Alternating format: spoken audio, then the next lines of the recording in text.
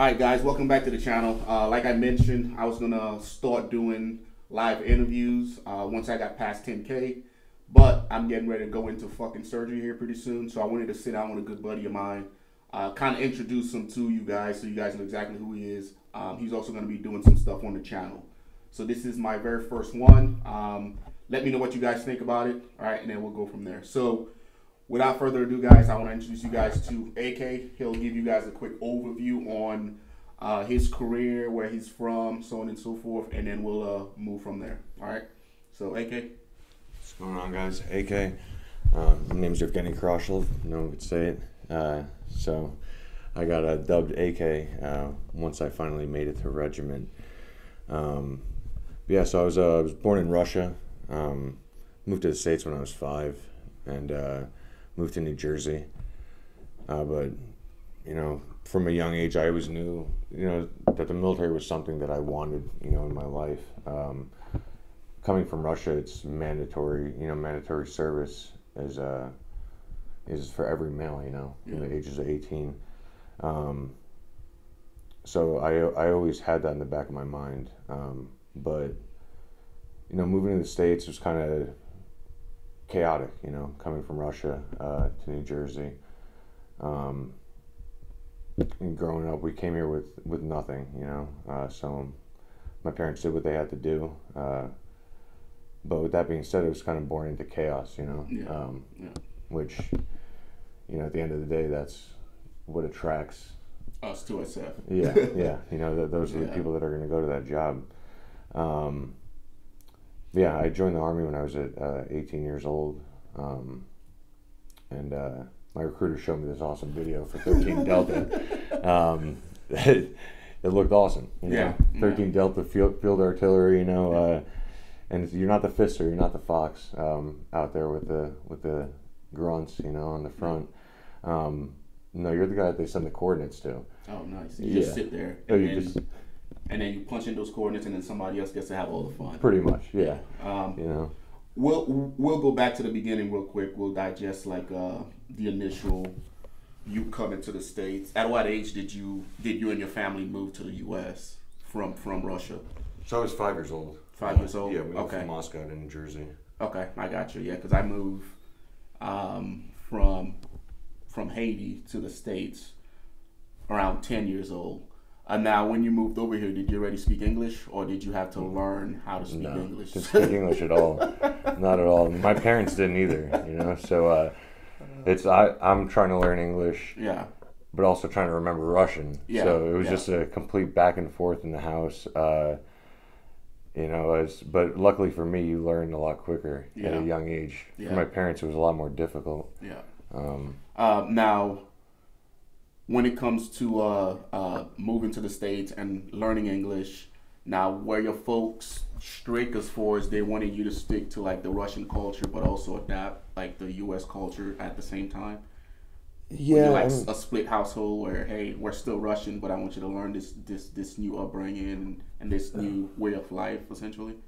Yeah, I mean, they wanted to adapt, uh, assimilate, you know, to the American way of life, but it's kind of hard. It was completely, Yeah. it's, it's night and day, you know, uh, Soviet Russia compared to America, you know, the Yeah. land of the free. Uh, it's completely different way of life, especially in New Jersey. Yeah, Um, so, in in some ways, you know, we held on to uh, in the Russian way of life, Yeah. you know, um, but it was more my grandparents um, Okay. that uh, that kind of gave me that peace, you know. okay, Um, and with my parents, you know, coming here with nothing, they they my dad was going to school Mhm. um, at night and uh, working two jobs, so I was pretty much raised by my grand grandparents. yeah, Um, but uh, it was it, it took a while for them to to kind of really fully adapt. Yeah. You know, um, it was it probably wasn't until my sister was born. Um,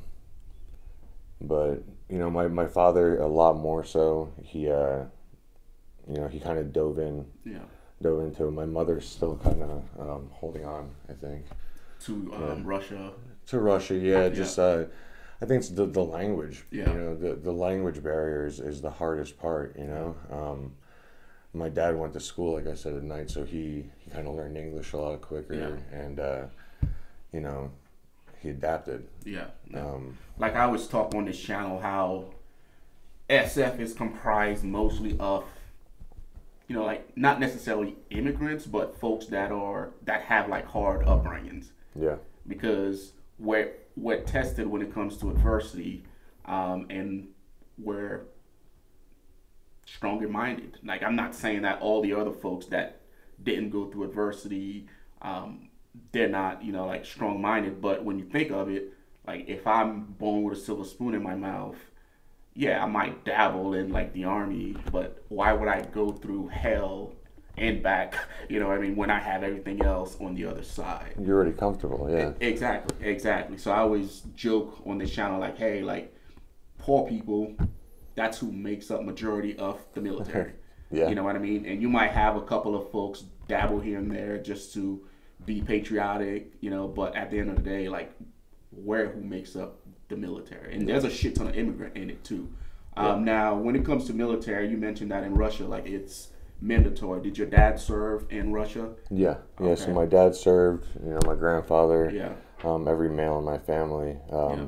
My great grandfather was actually a surgeon. Um, he ran all the field hospitals in uh, World War II. Mm-hmm. So in Stalingrad, nice. he was running all of the hospitals. Oh, nice. on the Russian front. Um, yeah, I mean, my my dad's view still was that if I don't have to do the military, don't do it. You Yeah, know, he's an architect. Um, My family's all engineers, Mm-hmm. artists. Uh, you know, architect. Yeah. so so when uh, when I said I wanted to join the army, it was you know it was frowned upon. Yeah. You know, Yeah. um, there you don't have a choice. Yeah. Whereas So he he just wanted you to, I guess, go a different route because they were made to do it in Russia. So his perspective was, well, why are you going to do it here when you have options? Yeah, yeah. He wanted me to go to school. He wanted me to be an architect also. Yeah, yeah. Um, but it's- it wasn't my path, you know. Yeah. So Um, what? I guess that'll lead us into our first question, which is like, what made you want to join the military? So you guys migrated from Russia to the states. You're learning English. You're going to school, and then at what point did you know that you wanted to join the the military, and why? I've like I said, I've always wanted to join. Yeah. You know, ever since I was a kid. Um, you know, if you uh, look back through like stuff that you have from grade school, um, they ask you what you want to be when you grow up. You know, Yeah. my, mine was always a soldier. Um, Yeah. But uh, I, I started getting guided more in that direction Mm-hmm. the older I got because so I was kind of born into chaos, Mm-hmm. uh, and that's kind of what I lived in. You know. Yeah. Um, Yeah. you know, growing up how we did Yeah. no money, uh, I always wanted to have everything, uh, the Yeah. American dream. Yeah. Um, and uh, uh, the older I got, the military just seemed like a, the right choice. Yeah, like know? a fast track to to success. to success and Yeah. a way out, you know, Yeah. to, to travel, to, Yeah. you know, they, they sell you, uh, they sell it real well, you Yeah. know, um, see the world. Yeah. Because I also joke, well, I guess not necessarily joke, but I tell folks on this channel also, folks that come from, you know, our our background, whether it's um, uh, New York City or Detroit or New Jersey, I always joke with them like, hey, the military is the only place that you can go where within one generation you can switch things around. You can go from, you know, growing up in the slums to owning properties to traveling the world to Yeah. getting paid on a regular College basis degrees. to retire. Yeah, Yeah. degrees, retirement. Like the military is one of the only places that I know of that you can do that, and it's super fucking easy. Like you literally show up, they tell you what to do, they tell you how to do it, and then you just do those and you're fine. Yeah. Um, so at, at at what age did you join? Was it 18, 19? I joined in 19. Okay. Um, so I, I was getting in trouble a lot uh, as a kid, you know. Um, so I tried to join at 18, but it Yeah. took a it took a little while Okay, um, to get you. in there. I got you. Um, yeah, so I went to a, a basic training in Fort Sill. Um, Okay. So I became a 13 Delta. How was basic Um, training? Because when I went, it was weird, man. Because being from, you know, like a like a impoverished background, like that shit was nice. Aside from you know Sean with other dudes, like it was like a fucking cakewalk. But then while I was there, like there was like grown men that's never been away from home, Like struggling. suck- Yeah. Struggling. Yeah. So how was your basic training? I it wasn't too bad. Um, being from up north, you know, like you- you're from New York. Um, I found a couple people from uh, Yeah. Chicago, Yeah. Flint, you know, New York City. Uh, We kind of, uh, you know, we we we, uh, we hung out, it, but uh, no, it was good. Um, it definitely wasn't what I expected. You Yeah. know, um, so? so I didn't I didn't go as an eleven Bravo, Yeah. right? Um, going to Fort Sill, it's it, it's a lot different, you Yeah. know. Um, eh, physically, I wasn't where I wanted to be, right? So I worked on myself a lot there. Yeah. Um, but you know, I just I thought it'd be a lot harder. You know, Yeah. I, I thought it'd be like like in the movies. You know, the real sorry Well- going at you. well, Um, you say it was maybe it wasn't harder f- for us, right? Because again, we grew up like working out in the struggles, uh, down there getting it. But I'm sure there was some folks in your basic training class that were like, "Oh my god, this is hard." I'm like, "Dude, this is it's 30 push-ups. Yeah. Like it's not fucking hard. You just gotta fucking do it." But Uh-huh. I'm sure there was those dudes all all over the fucking place. Um, so you got done with basic. Was AIT at the same location, or did you have to go somewhere else? AIT was the same location. Okay. Um, and that that's when I realized that I this isn't for me. You know, like this is this job is not for me. Like I, I, Yeah. I could do it, will not be happy. You know. Um, so I mean, I got through it. You know, um, it wasn't difficult. You know, Yeah. a lot of uh, plotting points. Yeah. Nah. Yeah, that doesn't sound fun at all. No, Um, no, it wasn't for me. Um, And then I went to Fort Sill. That was my first duty station. Um, That's right there next to Fort Riley. Yep. Yeah. So basic AIT, Mhm. first duty station. Okay. And I started seeing the world real quick. Yeah. traveling Yeah. Oklahoma. Nice. Um, yeah. But that um, that's when I probably the the first week being there. Um, I started looking for a new job. You know, Okay. mentally, I started trying to figure out what what what else I could do, where I could go. You know, um, so I showed up there, and you know, you you think the military, you think everyone's in shape. You know, no, no. like That's not the case at all. yeah, especially Fort Sill. You know, like the standard was low. Um, I showed up and there were so many people that said they had thyroid problems. They're on soft shoe profiles Yeah. for thyroid problems, eating a donut. You know, and it's like it's not a thyroid problem; it's a Krispy Kreme problem. Yeah. you know. Yeah.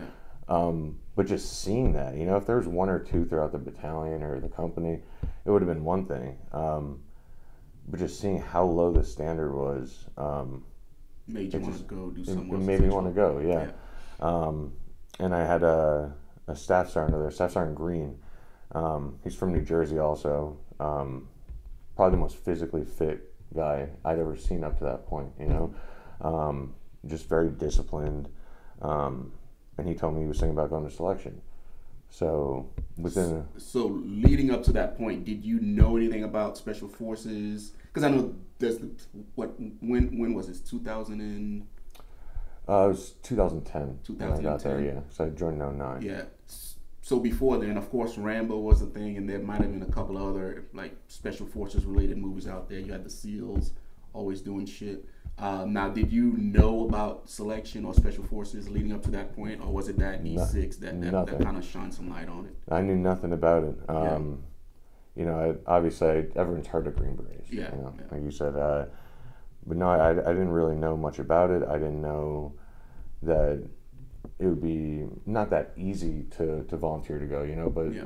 that it's such a streamlined process, right? Mm-hmm. Um, but I, I needed to be in E4, right? Okay. So I, I, I was fresh in. Um, I got there as an E2. Mm-hmm. Um, so I just started training, you know. Yeah. Uh, I started training with him and uh, one of his buddies, um, and just started trying to research. You know, I got uh, the SFAS prep book. Yeah. Um, Was that helpful? selected. I mean, being in Fort Sill, like seeing, uh, we had one guy with a Ranger Chat major, you know. Mm-hmm. Um, everyone else, they had been there, they had been at Bliss, you know, like they. So there wasn't a lot of knowledge. There- Okay. There wasn't a lot of people that uh, were able to give me their input Mm-hmm. um, or any guidance, you know. Um, and on top of that, it being in, in field artillery, we, we never did land navigation Okay. we didn't really do that much physical training, right? We did PT in the mornings, um, you know, and some ruck marches, stuff like that. But that was pretty much it. Our field problems, we slept in, you know, GP mediums. Um, living a good life. yeah, yeah, living a good know. life. Yeah. So you found out, you know, selection existed, and now you're starting to train for it. Um, at this point, are you still in contact with your family up in New Jersey? You told them, "Hey, I just got here. It sucks. I'm thinking about joining Special Forces." What was the What was their reaction then?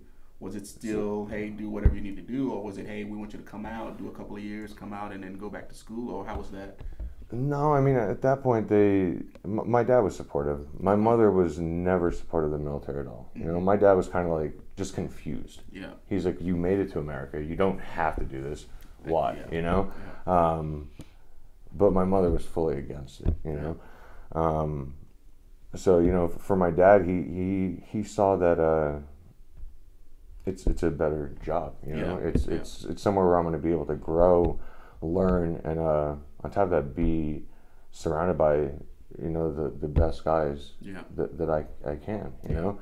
Um, so he, they were supportive, um, and on top of that, uh, my wife at the time, uh, she was pregnant too, right? So, um, I knew that, and they knew that that this was the way that I would be able to get a also better financial stability. Yeah, You know, yeah. um, be able to progress in my career, um, and also be able to get my resume built up, right? Yeah. Be, be able to get a good job uh, when I get out with that in my background.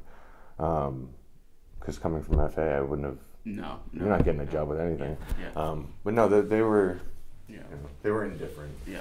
Um, And that's good because I always tell dudes on this channel that hey, before you go do anything, you want to make sure you have your entire support staff behind you. That being your your parents, your wife, your kids. Because if you don't and you go off to selection, and while you're there, you're thinking about shit that's going on back home. You're thinking about not having everybody behind you.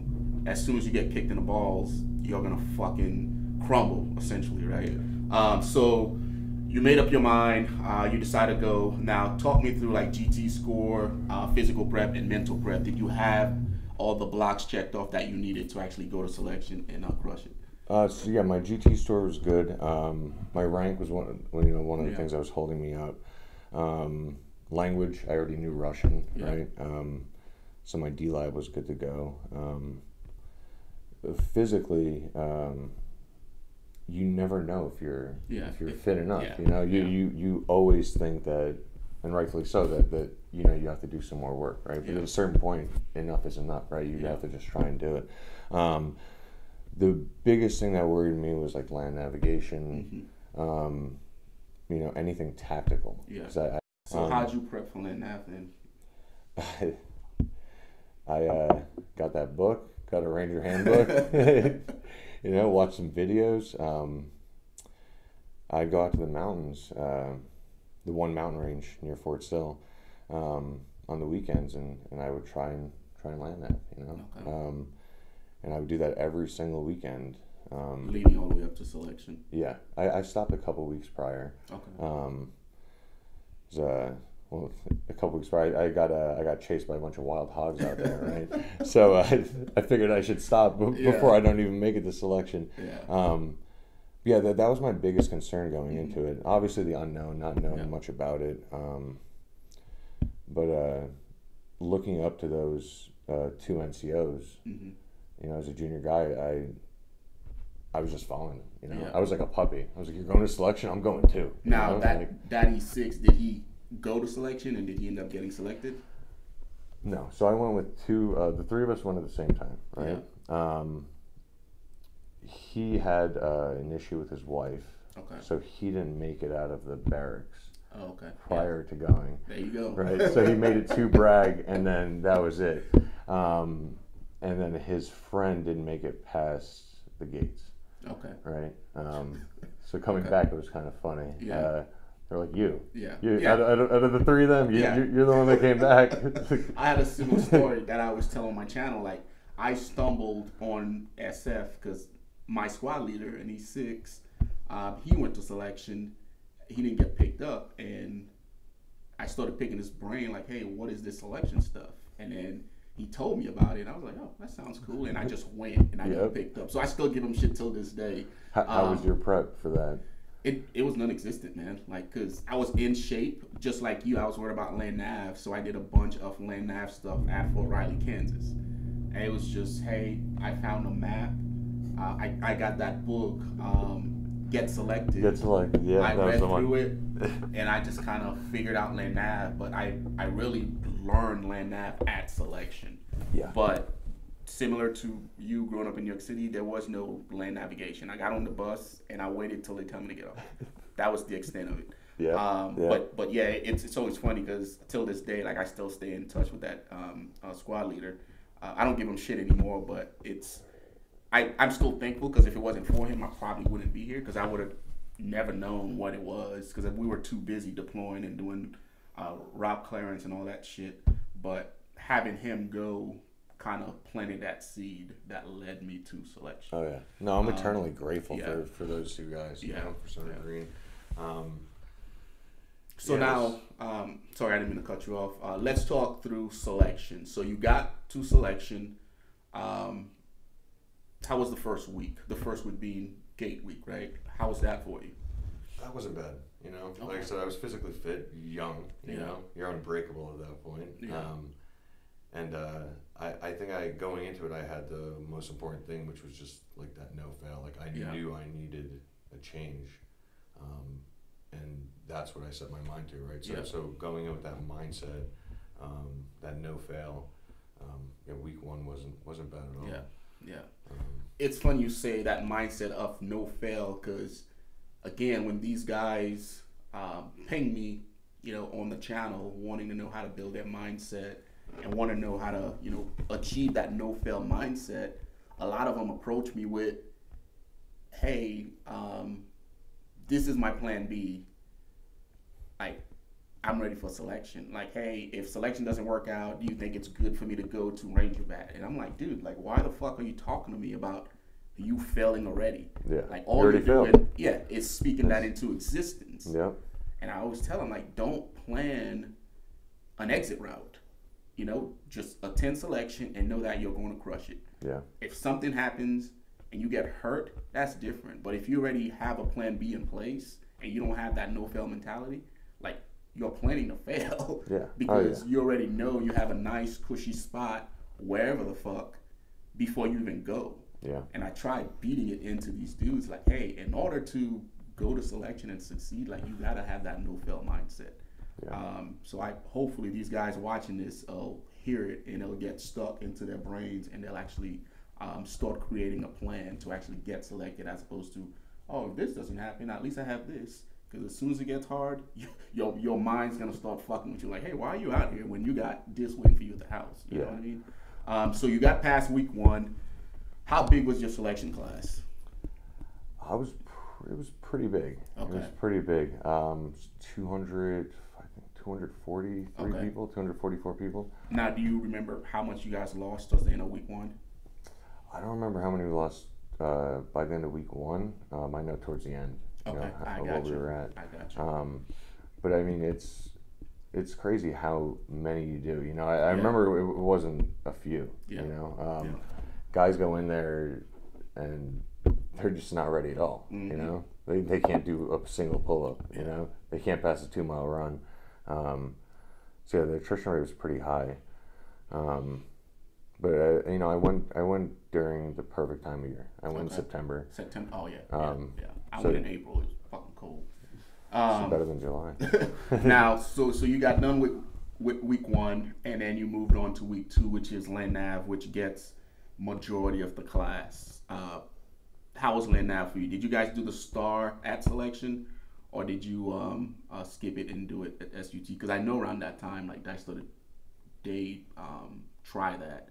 No, no. So we did the star there. Okay. Um, that was that was definitely my hardest week. You know, Okay. as far as uh, uh, not physically, right? Um, it was uh, you know, like just like you, I learned land nav while I was there. Yeah, You know, I I, I kind of dabbled in it yeah, pretty much at Fort Sill, um, but I got kind of confident, you know, Yeah. in, in the couple of days of prep that they give you. Mhm. Um, but then once we did the star, the first day, I just bowled it, completely bowled it.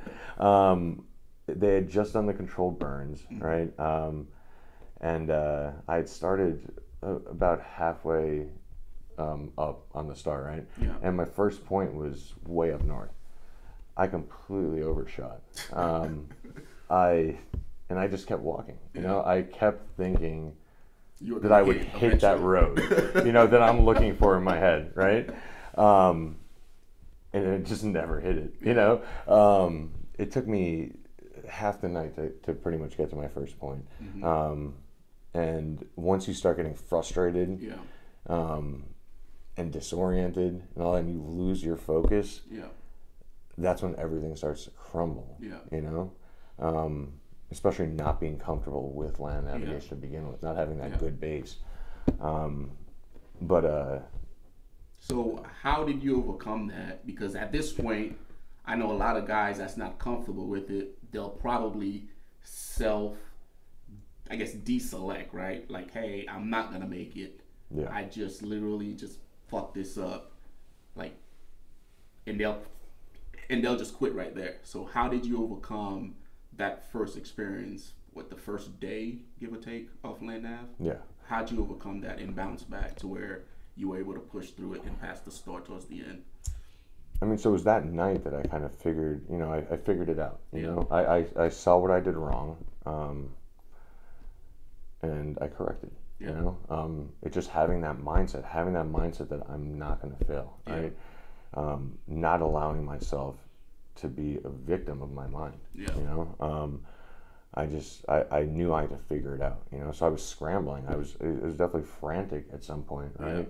Um, trying to to you know, so the Star Course is confusing. There's Yeah. they give you the map and Yeah. there's there's we'll say there's 20 roads on it. Yeah. In reality, there's like 50. you know, they are everywhere. Um, so it's it's it, it's very unexpected. You Yeah. know? Um, but I, I just I got my bearings that night. You know, Okay. um, I knew I had made that mistake. You know, I took it on the chin, um, and I just I was not going to give up the Yeah. next day. Yeah. You know, Yeah. I was not going to give up. Yeah. And that's a good mindset to have. I, I just can't stop beating it into these fucking kids, man. And it's like this new generation, as soon as, you know, shit gets hard, they fucking give up. And I'm like, dude, like you have to figure this out before you get the selection. Yeah. Because it's meant to make you want to quit. Yeah. And if you point. don't go in there with that mindset, you're gonna fucking quit. Um, so you got done with phase two. So now you did the star twice, right? Once at the beginning and then once towards the end.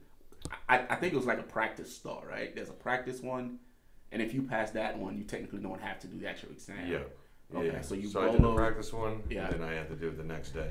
I had to do the same thing. It's Yeah. all right. It's rough. Yeah, it's rough because your It's- feet are torn up at that point. what is You it know, like? Fifty something fucking miles. I think 'Cause it's I 10 calculated hours. The second day was Yeah. it was about it was twenty something clicks, like Yeah. 23, 24 clicks. But you did it twice, so that's double the amount of mileage on your Yeah. fucking feet. Oh, you're done. Yeah. You are torn up. You know, week one you're fine because you prep for that. You Yeah. know? You prep for that. You're doing those small gates. You Yeah. know, um, and then you have time, uh, at least a little bit of time to recover. Yeah. Um, if you fail that practice one, there's not a lot of recovery time. No. You no, it's literally the next night. You, Yeah. you fucking go at it again. Yeah, you, you Um, grab a meal and that's you're going back out there. Yeah. You know, um, you know, but it was it, at, at the end of that second day. Um, I had done pretty well. I had a lot of time left, and I had one point left to Yeah. uh, to reach, Nice. and it was across Scuba Road. Oh yeah. Everybody Um, knows the infamous scuba road. Yeah, yeah. But see, I got I got arrogant. Yeah. I got arrogant at that point, right? So don't skip Scuba Road. Yeah. You know, this is, this is going to be my the, the one lesson learned at the end of this. Um, I thought I'd go around it. no. I was like, I got like four hours left. It's like a click and a half. I'll go around. I looked at the map, you know, and, and to the northeast, uh, it looked like, you know, it would, it would be easy, easy Yeah. going. It's not. It was all marshes. oh, You know, I. I, I started going around and it was, I, I, I probably made it with an hour left. oh shit. And I was just walking with water up to my belly, yeah. you know, vines and stuff, you know, at eye level, and it was Yeah. miserable. As opposed to just going through Scuba Road, you would have been twenty minutes. yeah done Through it, done. Yeah. No, had to get cocky, you know. Wanted to stay dry. yeah. Uh, Yeah, I've I've heard horror stories about Scuba Road. Like I remember going through Scuba Road, um, and me like I just went through it because leading up to the point, like I was walking through also because I went in um, April, so the the creeks were starting to fill up. So I was drenched by the time I got to Scuba Road. So I didn't give a shit. I just walked through Scuba Road, um, and then I walked back. And, and I remember coming back across, and there was a kid standing there. He was naked as fuck. He was just naked. I'm like, what are you like? What the fuck's going on? He's like, yeah, I'm going across the road. I want my clothes to get wet. Like he got completely butt naked, dude. Like held his rucksack on top of his head and walked through Scuba Road. I was like, yeah, no, I'm good. Um, so now towards the end of selection, I mean, uh, uh, towards the end of um, week two, did you notice that the class was getting smaller and smaller? Because again, Land Nav gets a lot of fucking dudes. oh, land nav Yeah. thin the herd. Yeah. It thinned the herd. Um, yeah, we were probably at half. you Okay. know. It, it, it was getting quite small at that point. Um, you know, because you, you get the guys that just didn't prepare at all Yeah. out in week one. Um, week two really, you know, t- takes the meat off of it. Um, Mhm. And then you're left with the guys that, you know, a, a lot of them are going to, at that point, are going to make it through. You Yeah. know? Yeah. um, at least in my class. Um, yeah, no, it was it was uh, it was crazy to, see the morale shift though, because everyone was super nervous before landing. Yeah. you know? and it's a it's a huge weight lifted off your shoulders. Yeah. You know, as soon as you as soon as you know you pass that point. yeah. Um, Now you know you just don't suck for the last week and you Yeah. should be fine. don't suck. Take Yeah. care of your feet. Yeah. You know, and, and just don't quit. Yeah. All right, now moving on to uh, week three, which is uh, team week. Mhm. Um, for me, team week was probably my worst week because it brought out like some inner demons, especially when it came to dudes feeling sorry for themselves and me not having the patience to deal with that stuff. Oh, like yeah. I almost screwed myself over because I was I want to say it was like the last mission, and we were right around the corner, and this dude just quit right then and there, and I just, I just lost it. like I, I just lost my fucking mind to where the cadre had to speak with me, and he was like, "Hey, do you think you you've been giving it hundred percent throughout this entire?" And I'm like, "Uh, I think so. Have I? You know?" And then he walked away, so that fucked with my head a little bit. Um, but how was week two for you, um, as far as team week? Uh, like I said, it brings out the inner demons. Yeah. You know, um, people are getting hurt at that point. Um, my feet were pretty messed up. Uh, my knee was kind of shot. Um, I was just gritting my teeth, you know, Yeah. trying to get through. Um, it was really frustrating though, because you know sometimes they pick, they put people in those leadership positions, and they just lose their minds Yeah. completely. You know, get you get the class lost. they started try to build these apparatuses that Yeah. just don't make sense, Sense. at all. You know, um, so it was it was frustrating. You know, um, and being from up north. Uh, you're pretty vocal, you Yeah. know. You know, it's it's hard to keep your cool sometimes. Um, but I just like being a younger guy. Uh, I think it helped me out. If I'd gone there as a more senior dude, I think I would have been a lot more vocal, um, and shown my frustration a little Yeah. bit more. You know, but kind of being that junior guy, I uh, kind of just held back. You know, Mm-hmm. and uh, and just tried to see the guys that were doing the right thing, right, and just just kind of tried to group myself with them. Um, but uh, no, it was, uh, at that point you start seeing right. So all the 18 X-rays Yeah. and the regular Army guys, the guys who had done five, ten deployments, right, that Mhm. are in their mid 20s, Yeah. 30s. These X-rays in the in the transition moves, right? So in, in between uh, in between uh, events, they're just taking off, Yeah. running, you know, and they're Yeah. still in such good shape, um, and they're all ba- they were banded together, Yeah. um, and that kind of messed with me a little bit because like those dudes were still crushing it Yeah. you know um, and I, I mean I was I was just trying to keep going you know I was, Yeah. I was hurting um, but no I, I thought that was was a pretty good week you learn a lot about yourself Mm-hmm. you know um, you learn a lot about yourself and you learn quickly how tight knit of a team, you know, you Yeah. can get if Yeah. you have something to overcome. Yeah. You know, because you don't know any of these guys. You don't even know their names. You Yeah, know, you're you all just know a a number. yeah. yeah. You know, um, but seeing everyone come together, it, for the most part, you Mhm. know, um, definitely points of friction. But uh, that was uh, what helped me get through it. You Yeah. know, Nice. so yeah. How was it for you? Uh, so when I went through, I was senior E6, and again, aside from losing my cool towards the end, like I didn't have an issue. It was just the body was starting to fall apart, and I always tell guys that uh, week three or team week, it's meant to get to the core of who you actually are because that's when shit really gets tough. Um, week one, everybody prep for. Week two, you can prep for, but you'll learn as you go there because you're out there for five days doing two PEs a day. So eventually, it's gonna click as long as you apply the stuff that they teach you. But week three, you can't really teach that because it's it's meant to bring out all your inner demons. It's meant to see how well you play with each other. Yeah. And um, I figured it out, but there was a lot of guys that just couldn't hold it together. And if you don't go there with the intention of making friends, when it comes to pink and blues, like those dudes are gonna pair you out. Yeah. And there was a lot of that. Um, but my class was somewhat um, mixed. Like we had a decent amount of regular army dudes. We had a different amount of X-rays. Those dudes banded together, and then we kind of banded together also. But the X-rays, they were in shape, but they lack leadership skills. Yeah. So that's where we came in. And the cadres did a really good job of mixing X-rays with officers, with enlisted. and then once those team came together, um, it actually worked out pretty good. Um, so it wasn't too bad. Um, so you got done with team week, and now you guys are waiting for the decisions. Did you get boarded, or were you just waiting to get the results at that point? So in my class, they had uh, everyone everyone had to go through The board. Um, not not the board process, but uh, you sat you sat in the uh, auditorium. Yeah, yeah. And, you know they call you back. Yeah. Um, I didn't have to get boarded. Okay, Um, good.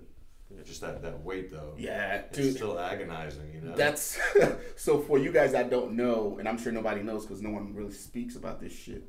So towards the end of selection, they they put everyone in this big room that's left, and Cadre goes up there and he starts dividing the group. Right? He called, hey, roster number five outside, roster number twenty outside. Like he he calls pretty much half of the class. Uh, there's a group outside and there's a group inside, and you're sitting there like, holy fuck, like what group am I in? Um, and I just remember sitting in the auditorium with, and then them saying, hey, you guys are in here, or you guys that are in here, you guys made it. And I just remember just feeling fucking relief. I felt accomplished. You know, I mean, it was a pretty good fucking feeling. oh, the best feeling. Yeah. You know, you, the army's pretty good with doing uh like ceremonies stuff like that, and that they're just like they just let you know you, you made it. Yeah. You know? Yeah. Um, but that in itself is enough. Yeah. Um, yeah. All of a sudden, you just you feel every ache, every Yeah. how exhausted you are. You know, like Yeah. it's just that mental. You know, your your guard goes down. Um, and probably the, the one of the happiest moments of my life. Yeah. You know. Yeah. Now, how many dudes did you guys actually get have get selected? We were at it was just under hundred. Okay. Yeah, because I think mine was seventy-eight. I think it was right around eighty for my Yeah. class, and we started with like three hundred and twenty. Man, it was fucking ridiculous. How? Because it was weird. Because you'll go like you'll go out for an event, you'll come back, and the tent just got like emptier and emptier. Yeah. And then by team week, it was like we all knew each other because so many dudes have just you know left for Yeah. whatever. And some of those dudes that that were gone, like doing the first week, admin week, I was like, man, these dudes are fucking monsters. Like they Yeah. were like I thought I was fast and I was in shape, but those dudes like put me to shame. Yeah. And then week two came around, and then week three, and those dudes were just gone. And I'm like, what the fuck happened to them? A lot Um, of it's a roll of the dice. yeah, for, for some yeah, things, you know, yeah. you, you just you get unlucky. Yeah. Um, selection, a lot of it is is luck. You know, um, it's you know what, what points you get. You know what injuries you get. Um, Um, so if you had any advice for um, dudes going to selection, um, watching this right now, whether it's X-rays or prior uh, service guys or guys that are currently um, in the service, uh, what what would that be based on your experience from when you went? for selection, it'd definitely be mindset. You know, the biggest thing would be mindset. Um, if you truly want it, um, then you're ready to go. You know, if you're unsure and you're trying to have all these secondary, tertiary plans, you know, that that aren't just thoughts. You know, that you're actually formulating. You know, then then you already failed. Um, other than that, it's, you know, land navigation, um, foot care, and uh, ruck packing. That's another thing I didn't know anything about. yeah, you know, yeah. um, just the basics. You know. Yeah. which they're all courses that I have in the Patreon. So go check that shit out. All right, so now let's transition from selection to the Q course. When you went through, what was the uh, um, breakdown of the Q course? Did you do SUT first, SERE, and then MOS, and then language, or Language first. What was your layout? Okay, Yeah. So so we did language first, um, and then we did SUT, um, MOS. yeah. Now, did you go through language? So SERE before SUT. I apologize. Um, yeah, I went through language school. So um, they tried to give me Spanish when I, when I was leaving selection, um, which you know it's kind of ironic. I, I looked at them. I was like, I have a tutu in Russian. I have family in Russia, family all over Europe. I'm a six foot four white guy. and you want to send me the Spanish, you know. Um, but I convinced them to give me Russian, uh, Yeah. but because I didn't know how to read yeah and write um, Russian?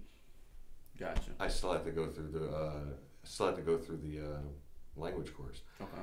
um, which is funny because at the end of it they just make you take the OPI. The OPI. You, know? don't even Um, take the DLP. No, you don't take it at all. Um, so yeah, I, I sat through language. Um, my uh, my teacher was also from Moscow. Nice. Um, she didn't let me talk most of the time. um, so uh, I, I worked on a college degree for Oh, a lot nice. of it. Um, While you were in language. well, I was in language, you know. Um, once it got further along, more Mhm. advanced, um, I started participating more. But it, initially, she just kind of wanted me to sit back. Yeah. Um, yeah, and then after that, uh, you know, we move forward, and you watch guys lose that skill set Yeah. so So quickly, fast because it's not being practiced. so quickly. Yeah. So you did language, and then was it SUT? I did SERE prior to. Okay, so SERE, language, Yeah. SUT, and then And MOS, yeah. and then Sage. Yeah. Okay. Um, now, were there any challenges for you doing the Q course, or was it just hey, you sh- you went straight through? Nothing Uh, too too crazy. So in the Charlie course, um, I don't know if you remember uh, when this happened. We had a huge, uh, huge delivery of uh, time fuse that Mhm. was completely expired. Yeah. Right? Yeah. I mean, you you you opened it up and the packaging was just rotted through. You know, um, and uh, if you're doing if you're doing time fuse, it has to you have a plus or minus three seconds, Yeah. right? I know you were an instructor out there, um, and dudes were getting like minus twenty, Oh shit. plus twenty, you know, um, and we were losing guys left and right, um, and I got I became one of those guys, right? Um, the next day, a National Guard guy um, tried to get. They tried to drop him um, for. I think he was like minus ten or something. Uh, regardless, um, he called his chain of command, Yeah. and uh, they had the instructors, the cadre, Do that. do it. Yep, and indeed, yeah. Every single one of them failed. You know, because they were Yeah. looking at us like all of you are retarded. Yeah. You know, like like how are you guys messing up this bad? Um, so after him, everyone else got to continue. yeah. Um, But all the guys that fell before still Got had to recycled. recycle. Oh, Yeah. okay.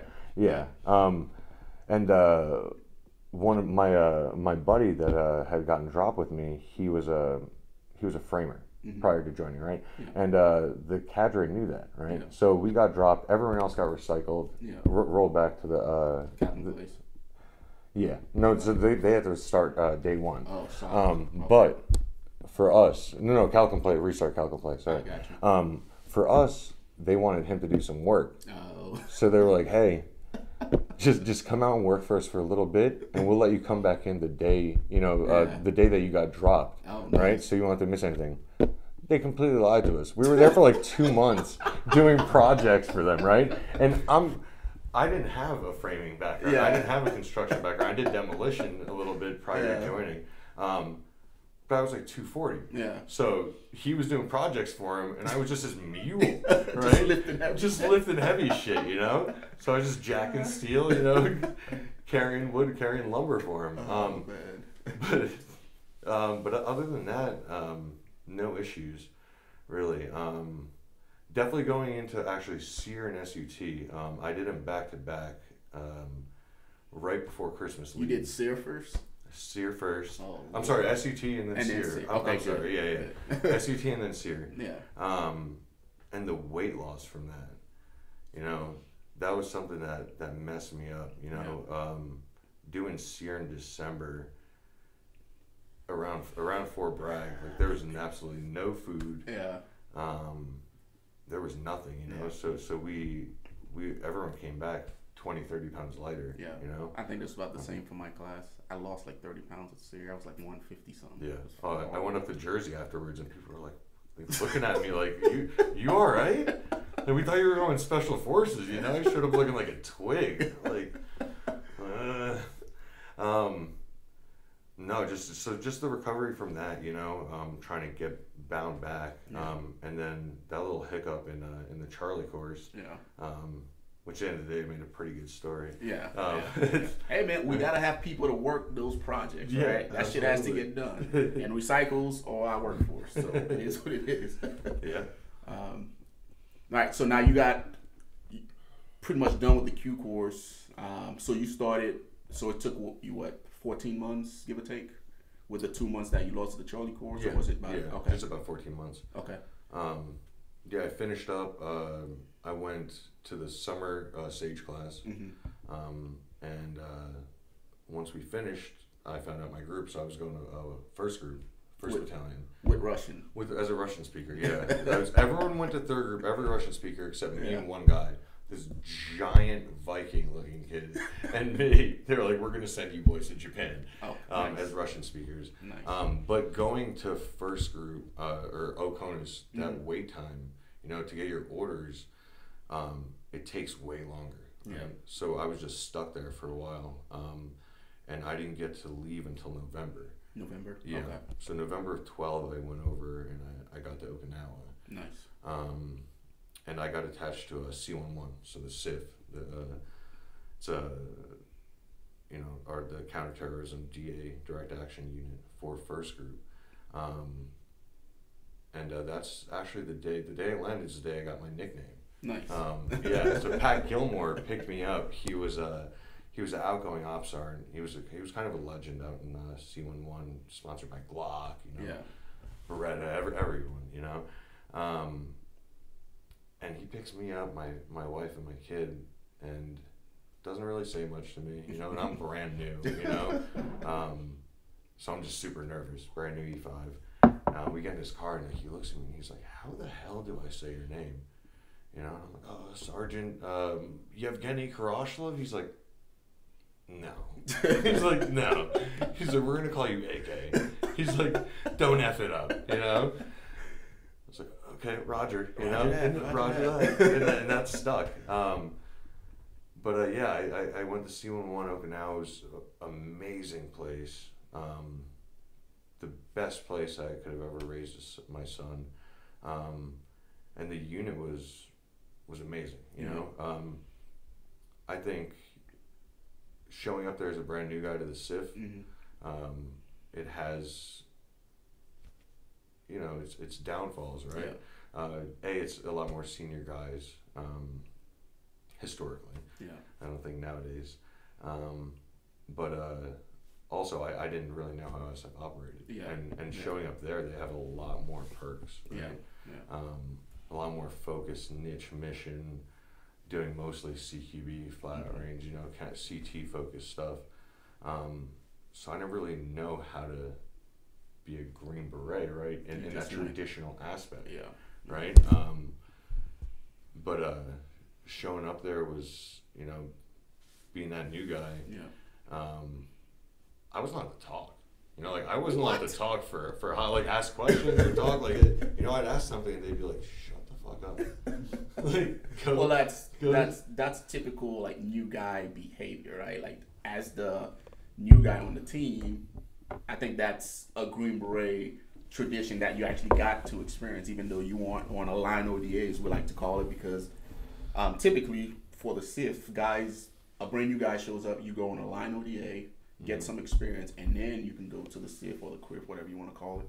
Um, but the stuff that you experience as a new guy was still like goes on around the entire regiment. Oh yeah. So as the new guy, it's good to hear that they actually do that stuff over there. Too. Oh, they absolutely did. Yeah. Because there weren't a lot of junior guys showing up there, Yeah. right? Um, brand new guys. yeah, Um, so the, the few of us that did show up, they made sure that you know yeah, we, we felt it, and uh, yeah, you learn a lot from that. Yeah, though, you know, yeah. just sitting back, um, it it humbles you yeah, for sure. You know, um, but you know, as soon as I got there, it got it got hot and heavy, uh, quick as far as um, the schedule. You Yeah. know, the op tempo. I Mhm. I wasn't expecting how busy it is in regiment. You know, um, but uh, I showed up. I'm field artillery, right, from New Jersey.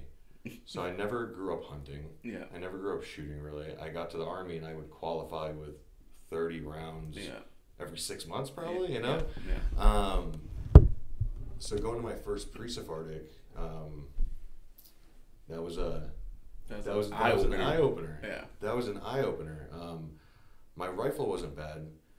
Um, I, you know, I, I bought an M4 in the Q course, and uh, I would shoot on the weekends, yeah, um, or an AR.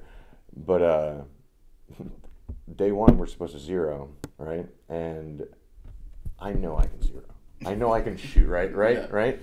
My pistol was terrible at that point, but I know I could. I know I can at least do this, shoot right? gun, yeah, So I I start trying to zero, and there's a round hitting here, there's a round hitting here, right? They're all over the place, like Yeah. buckshot. Um, and as I just ha- do another iteration, another iteration, I start getting this wolf pack around me. It was it was eleven thirty one at the time, and they're standing around me like, like what the fuck? And I'm telling them, I'm telling them, hey, this barrel shot out. yeah, You know, there's something wrong with it. And they they are not believing me. they are not believing me at all. Um, and I'm starting to sweat. I'm like, I'm like, dude, I'm like, I'm like doubting myself at a certain point. I'm like, maybe it is me. Maybe I'm just this fucking bad. yeah, Um, and uh, at this point, I have the whole team surrounding me. Yeah. pretty much right and their team sergeant comes over and uh, he pulls his truck up puts the hatchback and he's just sitting there. He's just staring at me. And this dude looked like the navy seal right? This dude's an ex-combat diver right? Yeah. he had the mustache the thing, you know just hispanic dude just jacked terrifying right and he's looking at me like i am the worst person in the world, right? and eventually, the one older guy, uh, Red, on the, on their team, he comes up to me, and this guy sounded like Popeye. He's like, "Hey, he's like, give me that thing," you know. Give him my rifle. He gets down, shoots like three rounds. He's like, "Barrel shot out." It's like I've been trying. To I've been trying to, yeah, I've been trying to tell you. So I thought the rest of their team would be like, "Hey, man, you know, you were right." No, they all just walk away like nothing happened, right? They give me a new rifle and I Yeah. zero. Um, Now, for uh, the audience, what's uh, pre-SFARTAETC or um, SFARTAETC as a, within itself? They probably don't know what that means. If you want to elaborate. so SFARTAETC is uh, Special Forces uh, premier direct action School, um, yeah. yeah, direct action school. Um, at the time, they would also teach more CT focused, Mhm. right, tactics, um, and it's it's probably the best shooting school in the world. Yeah. You know, hands down. Um, in uh, And pre-SFARTAETC is just a precursor to that, right? It helps Yeah. you get ready That, so Yeah. uh, pre-SFARTAETC will help you get past the flat range portion of, of SFARTAETC, Okay. right? Um, so in, in SFARTAETC you have a you, you have your test after two weeks of the flat range, right? Mhm. Of a flat range, um, and that's where a lot of people start falling out, right? Okay. Um, but up to that point, you're shooting. You'll shoot more in two weeks than people shoot in their lifetime. In you their know? fucking career. yeah, career. You're Yeah. shooting in your fingers. You know, there's the skin's coming Yeah. off off of your uh, off your hand. You know, um, or the slides catching it. Um, so our pre-SFARTAETC was just it was a ton of flat range, ton Mhm. of flat range. Um, for and for me, it was a pistol was was the biggest thing I had to work on. Yeah. And my anticipation was so bad Yeah. so bad. You know, I, I was trying to throw that bullet out of the gun that my rounds would, would be hitting probably a foot, two foot lower, Yeah. two feet lower than I, you know, I was trying to uh, aim. Um, but, you know, I, I did the first pre-SFARTAETC. Um, I had to go back to a second one because you only get a, a limited number of slots to go Yeah. right, for each group to go over to, uh, to SFARTAETC. Um, and the progression was just was amazing. You know, the, the amount that I learned in those. Uh, if I had gone straight to SFARTAETC, there's no way. Yeah. You know, I would have No. I would have been able to be successful. Um, but yeah, it's it's all just basic right, uh, basic uh, combat right, uh, car, combat marksmanship um, with your M4 and, and your Glock. Yeah. Um, so yeah, I, I did that, and then I went to uh, SFARTAETC, um, and said hands down the best school. You know, if, if guys out there are interested in being a shooter, um, you know, this is what you want to aspire to, to be able to get to. You know, Yeah. yeah, I mean, you, you will be able to teach anyone, you know, you, you'll have the fundamentals, the basics down, you know, and that's all they teach you there is, is the basics, The you know, yeah. the basics. And that's what people, you know, people think it's something sexy. No, they just teach you the basic stuff so you can get to your team or to the CIF. And then once you get there, your teammates and all the additional training that you're going to do, that's what gets you to that next level operator. Yeah, yeah. Um, so you go to SFARTAETC, you're done with that, and then uh, you guys start running a gunning. So prior to going to SWIG, how was your career um, as a whole? Did you, was it everything that you expected it to be as far as Green Beret stuff, or any issues? Yeah. Um, so being in the CIF, uh, combat deployments weren't really a thing. Um, at, by the time I got there, um, they were still doing Iraq rotations prior to me, me getting there, but those had died out. Um, so that's one thing that was frustrating. But you know, I, I ended up getting those later on Yeah. in my career. But overall, um, it was it was everything I, I could have hoped for. Yeah. You know, um, as far as a military career goes, I you know, deployed all over Asia, you Mhm. know, multiple times. Um, got to travel. I got to learn a lot. We worked with you know, counterterrorism unit.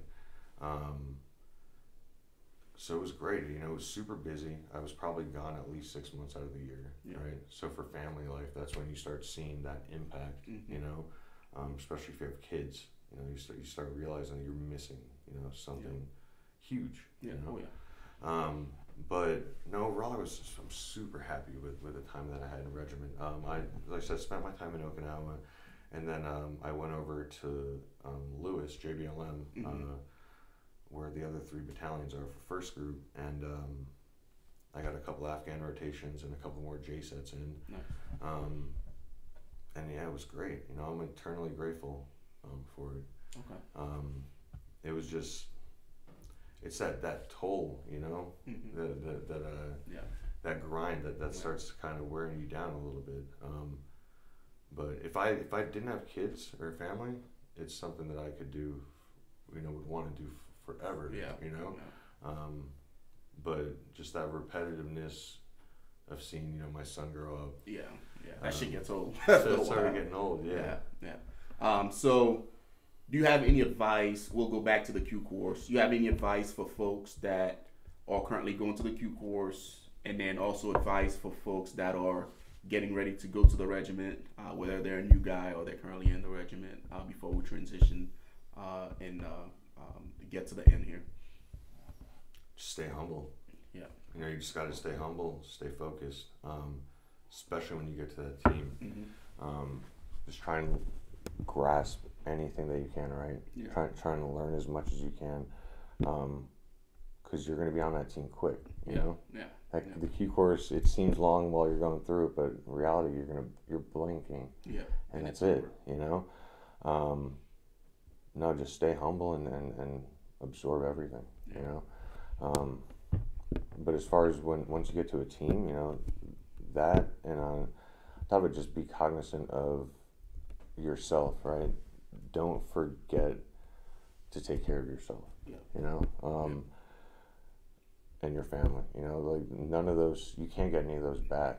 Um, a big realization I had a couple of years in uh, to regiment. Um, when I initially got there, I kept seeing the senior guys, you know, try and take off Yeah. when they can to see the family, right? If we're not deployed, you know, if we don't have training going on, and the newer guys would be there burning candlelight, and it's absolutely, you know, like i I'm not saying don't work, but You have to find that balance. find that balance. Yeah. You have to find balance, and Yeah. that's something I wish I found earlier on in my career. Yeah.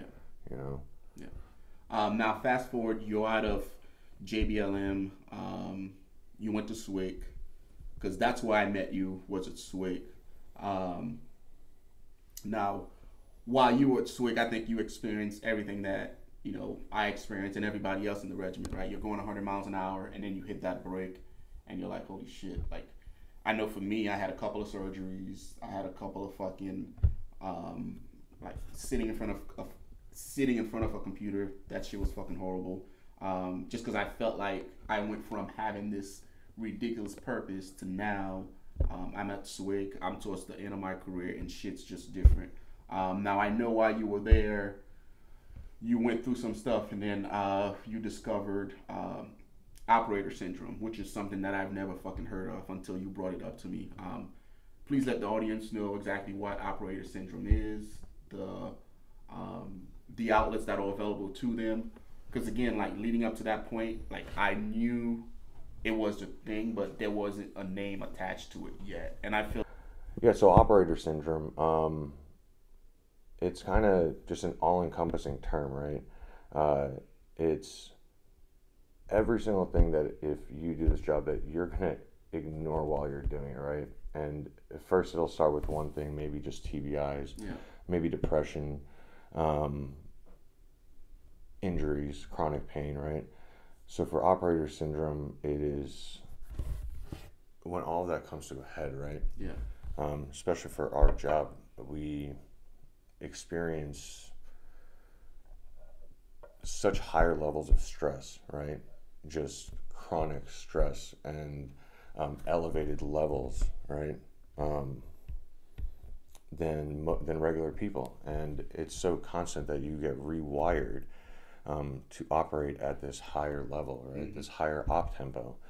Um, so that combined with uh, TBI, depression, um, chronic pain. Um, I have a list here. A few things. Um, sleep disturbance, obstructive sleep apnea, um, chronic joint pain, uh, substance abuse, depression, suicide, suicidal ideations, PTSD, um, existential issues. Uh, so, um, just having that identity crisis Yeah. and trying to uh, figure out what, how to operate at a normal level, come to SWIC, you yeah, know, yeah. being or job just getting out as a whole. getting yeah. out as a whole, transitioning into civilian life. Yeah. Um, so yeah, it's it's something that I definitely experienced, and I think you definitely you Yeah. know, have to a to a certain extent. You know, Yeah. I think all of us have. Um, but all of that coming to a head, um, coming to SWIC, I wasn't prepared for um, that change. I pretty Yeah. much had an identity crisis Yeah. coming out here. Um, and I think for me uh, personally, it was a, it was kind of like a perfect storm. Like I'd gone through a divorce, had a couple of deployments, uh, Mhm. a lot of survivor's guilt, um, uh, some injuries, right? And then that combined with coming here, losing The identity. Yeah. my identity, you know, and uh, my purpose, right? And that way of life. You know, I went from deploying six to twelve months a year to Mhm. being here every day, working a nine to five, Yeah. you know, office job. Um, that that was the perfect storm for me. Right? Yeah. Um, and everything came to a head. Yeah. Uh, and that's just something that guys have to be cognizant of. You know. Yeah.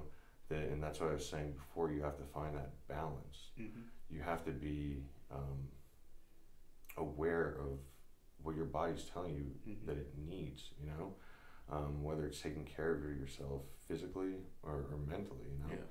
um, or your family, because that's a huge part of it, you know. Um, my divorce, my kid moving away like that was huge for me because and for for guys like us, I mean, for most people, you know, that's your family. That's Yeah. That's why you do it. that's know why you do it. That's Yeah. why you do this job. Yeah. Um, you know, and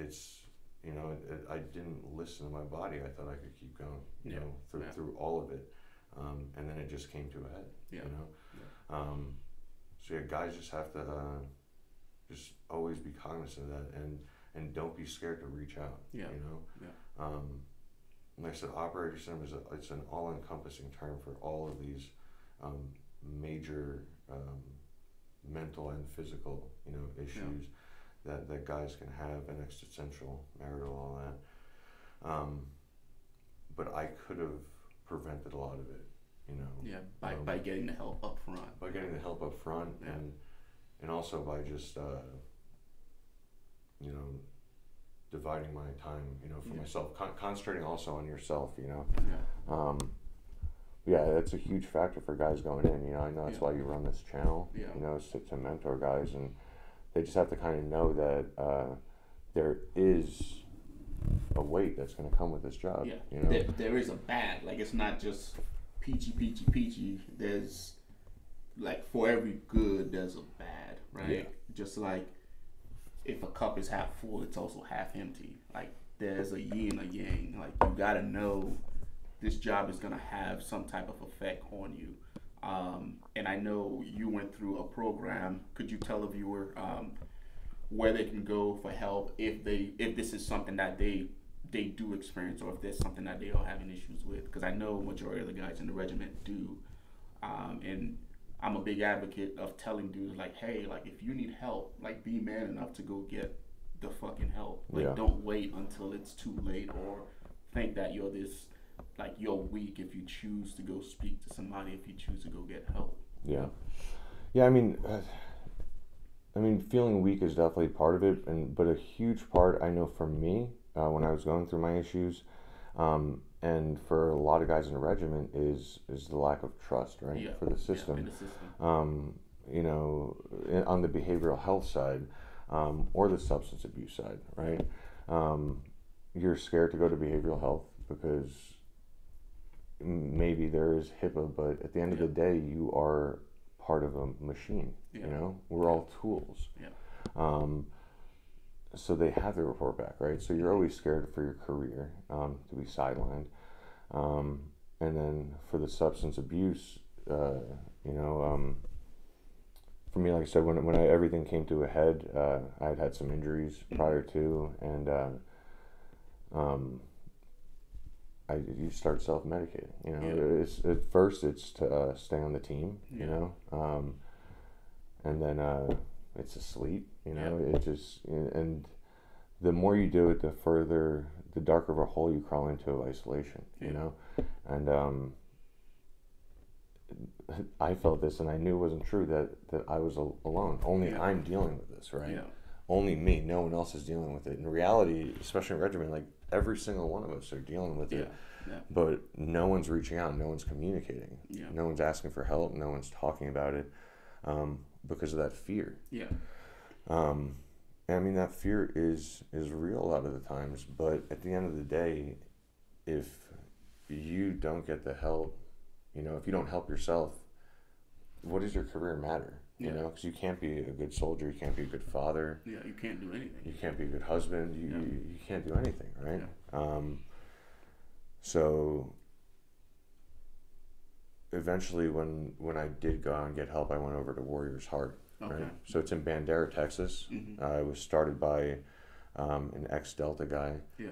um, and it was probably the best thing I've done for myself in a long Yeah. time. You know, um, they focus on uh, substance abuse and uh, PTSD at the same and uh, traumatic events at the same time, right? Most places where you go um, for help, they will only focus on one or the other, Yeah. right? So they take this dual approach, um, and is extremely effective because one doesn't coincide; they, they coincide, right? Yeah.